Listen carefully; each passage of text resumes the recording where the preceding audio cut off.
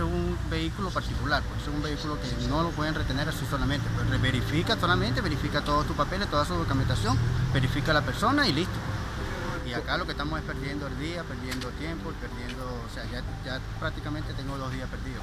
Sí, en verdad fue eso, porque siempre en todo, y igual, sé que a veces le dije que, que hicieran su trabajo, lo que tienen, y libre, ¿no?